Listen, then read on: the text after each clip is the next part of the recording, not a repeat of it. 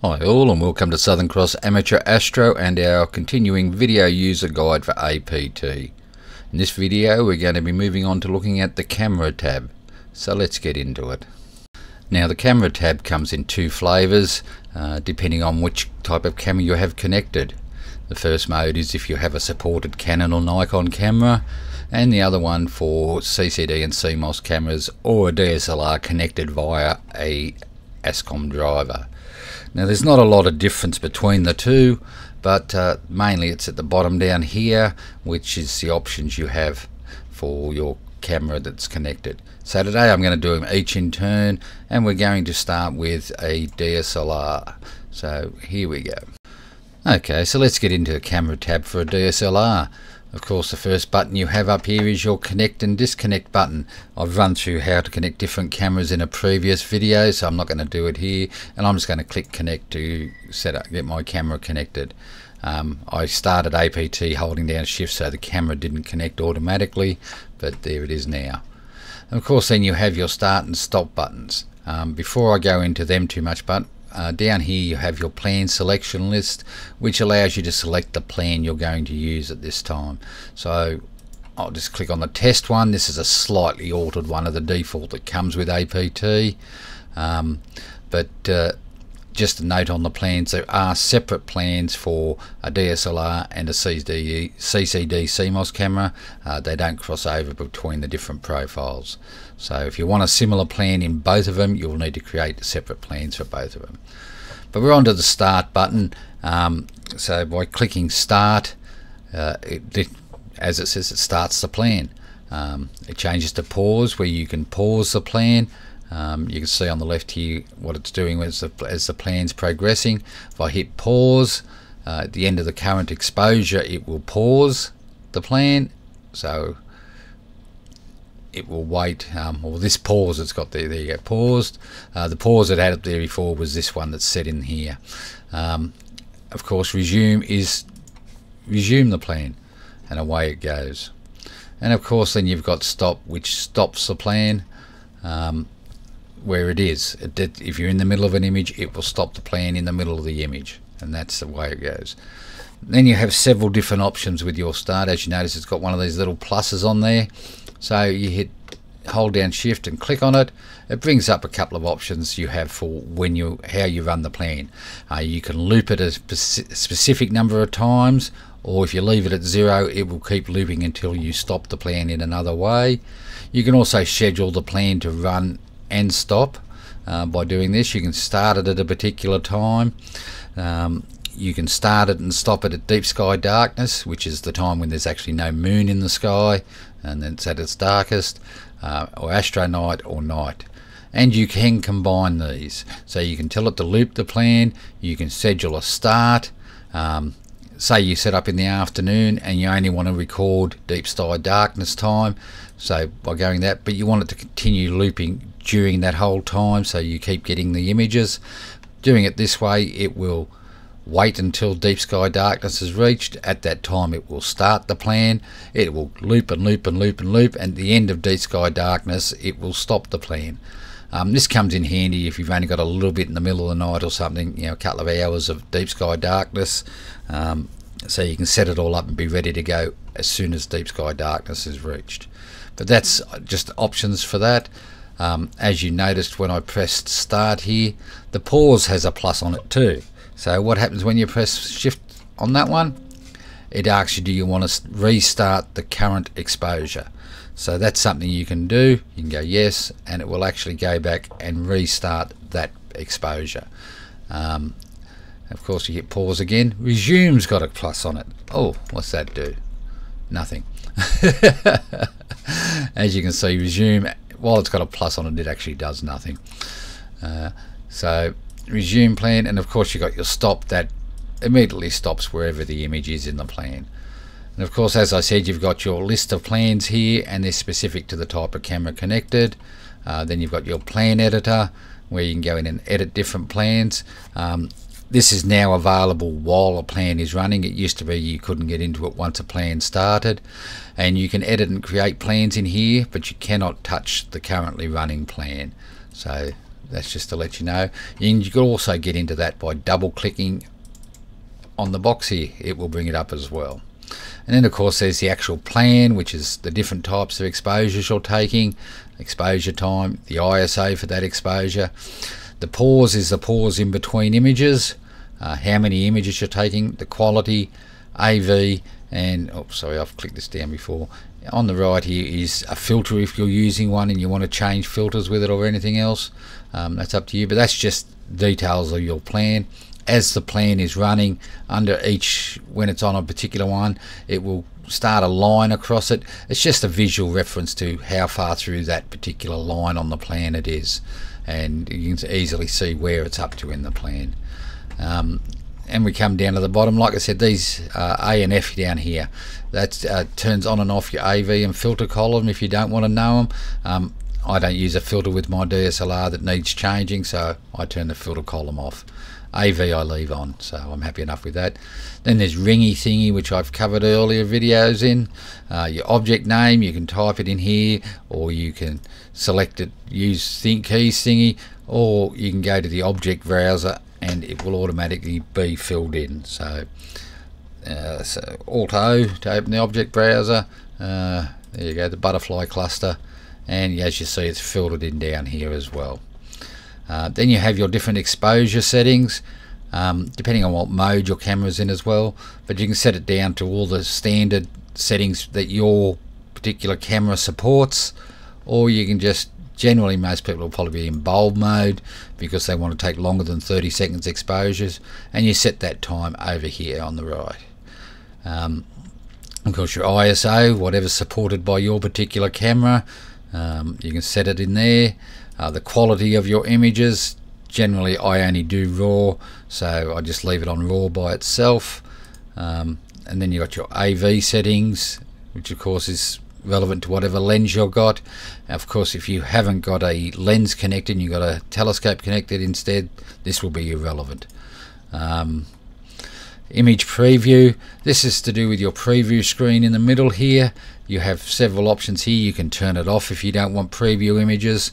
Um, you can have it like I have it generally set is to fit where the whole image is scaled down to fit on the screen uh, you can do one to one with just one to one you get the middle of the image and that's it. And you can have scroll around with one and one I just leave it on fit because um, simply that if you want to go to one for one all you need to do is double click on the preview and you'll go in. So that's you know there's a stuck pixel for you. And double clicking again takes you back to the uh, fit view. Then you've got your image destination. Um, you can either save it just the camera, just your PC, or the PC and the uh, card on your camera.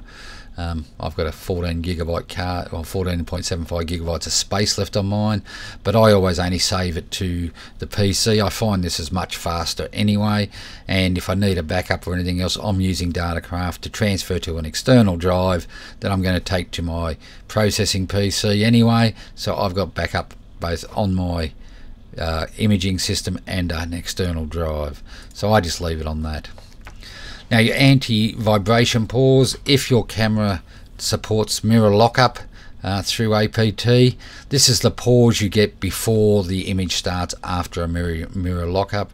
Um, generally you probably won't be using this uh, if only use it if you're going to be doing images below about three or four seconds because once you start getting into longer exposures the um, amount of light collected during the long exposures will far outweigh any noise created by a vibration in the camera when the mirror locks up. I've never actually used it so I just leave it at zero. Uh, next up we have the uh, your, your, long exposure control and this depends on what camera you actually have connected. Um, since 2006 for Canons and 2012 for Nikons. Just use virtual, uh, that works fine. If you have the older cameras where you need to connect with a D sub cable or whatever, then you'll need to ch choose the appropriate one. But uh, virtual will work for most people nowadays, but unless you've got a very, very old camera. Uh, the other thing down here is your white balance. Um, if you're shooting in RAW, this doesn't really matter, uh, as you can change it in post. I just leave it on daylight because I think that's what works for best for astro work. Um, and if I need to change it I'll do it in post and last of all just the camera details here on the bottom and that's it for the DSLR one um, a lot of this will be the same in your uh, CCD and CMOS one but uh, I'll cover the other different bits you get so I'm going to stop here right now um, and go get my other camera connected and I'll be right back bye Okay, so here we are in APT with my ZWO ASI 294mm Pro Mono, as it says down the bottom, connected. Um, starters, you're not going to see a real lot of difference. Uh, it's mainly the controls at the bottom again, and what you see on the left-hand side over here, uh, where it's got your power percentage for your cooling and the current temperature. Um, I might actually start the cooling aid going. Uh, the current temperature outside is actually about 25 degrees. I was playing with this a little earlier so it's a bit cooler and that'll just lower my temperature as it goes on over there. So I'll just let that run while it's there. Uh, your disconnect, start and stop buttons are all exactly the same, all function the same whichever camera you have connected. You know, shift clicking on start will let you um, set different parameters for your plan um, disconnecting and disconnecting I've connecting and disconnecting I've covered in a previous video so I'm not going to go over it again here. You start a plan uh, shift clicking on pause will ask you do you want to restart the current exposure? And it'll go back and do that. And of course uh, pause uh, resume and stop buttons all do the same thing. Uh, again you've got your plan list here just remember again that the plans in this setup will be different to plans in a DSLR setup. They are not interchangeable. Then of course you've got your plan editor. Um, so you can edit your plans and everything else in here. As I've said before, I'll be going to, into this more when I get to the actual section dealing with the plan editor. And later on I'll be doing a deep dive video into this because there's so many things you can do with it. Um, so I'll leave that till then. So I'm just going to cancel that one out again double clicking in the box here will open it as well. Um, then you've got your actual plan list what what is actually in the plan listed here. Um, exposure your binning the gain you're using if you've set the gain the pause between images the number of images and the filter being used. Um, down on the bottom right here you have your little uh, two little buttons here. Uh, the zero the O turns off your offset column and the G turns off the gain column. Um, I like to leave my gain on so I'll leave that there and then you have your object name. Now you have your various exposures. Um, like a DSLR it has a list of different exposures for how fast you want to be but most people will probably run it on bulb anyway and set their times in the uh, bulb seconds window over here. Uh, then you've got, of course, your binning. Uh, just a list of binning your camera supports. Uh, I generally use 2x2 with this camera. And, of course, your gain setting um, for your gain. Now, these settings down here for your camera here only affect when you hit a shoot button or if you're using plate solving and that it may use these ones if you haven't got um, anything else set to control it there by defaults in there so then we have region of interest. Um, you need images to be able to do this properly to show you, but um, basically you have a set of four different region of interest you can set here. Currently there's talks about trying to get a user defined one, but we'll see what happens with that. And when you click your region of interest on, um, you can click on center your region of interest, which will center the region of interest on the image. Uh, with that deselected, uh, when you're imaging you can actually get a new image up which will show the region of interest because you just click on where you want the region of interest and that's where it'll be. Then you'll take an image that will show that region of interest. Of course it's no good me doing it at the moment. I'm not outside. I haven't got a sky to look at. So it's uh, nothing to see when I go into region of interest. So I'll turn that back off for now. Um, the only oh, before I go in the only thing is before you start a plan if you have a region of interest selected it will warn you you have it selected and do you want to continue? So that's what you get there. Uh, turn that back off. Um, image preview same as with a DSLR that you've got your your fit where the whole image is on your preview. You can turn the previews off uh, one to one where you'll only see the center of the image and on one to one scrolling as well which allows you to scroll with your image but I just use fit. Oh my temperature's down to zero. There you go 49% power use. Okay so I can close that now. I'll turn it off. Got to remember to turn it off and warm the camera when the time comes. But um, yeah, so your region of interest, I leave it on on the fit because if I need to zoom in on anywhere on it and get one to one, it's just simply a case of double clicking on the image to go in and out of zoom uh, one to one. So I just leave it on that. Of course, you have your cooler settings, um, so you can turn your cooler on and off.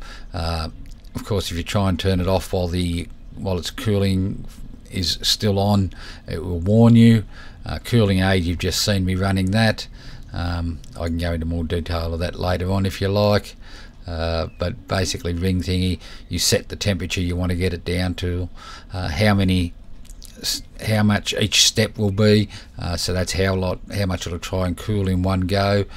The pause in between those steps, and the timeout for for each step. Um, so that's generally fine.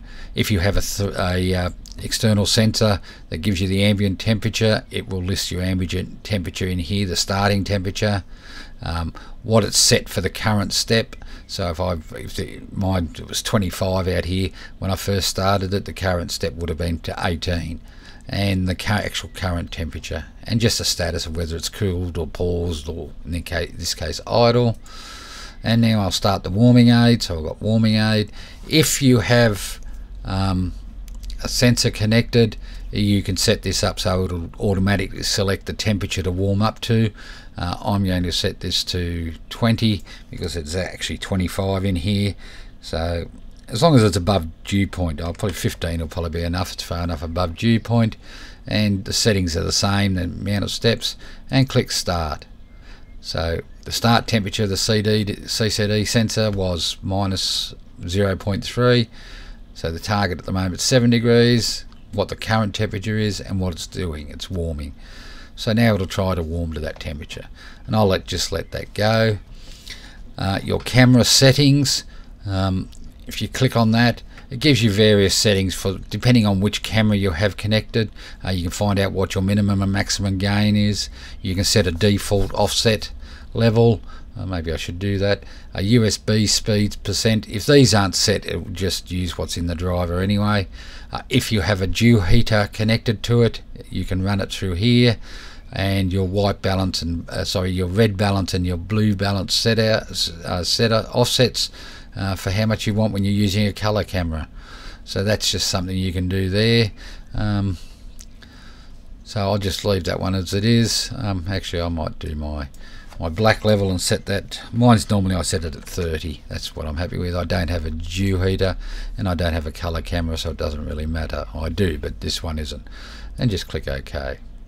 And your camera name down the bottom here. And that's really it for the camera tab. Um, as I said I'll later on be going more in depth into your plan editing. Um, I'll hit that anyway when I come to a the plan editor page in the user guide but there'll be even more in-depth one later on and so I'm just going to let this camera warm up but I'll end this video here and we'll see you in the next one when we're going to go through the gear tab. So take care everyone and clear skies. See yous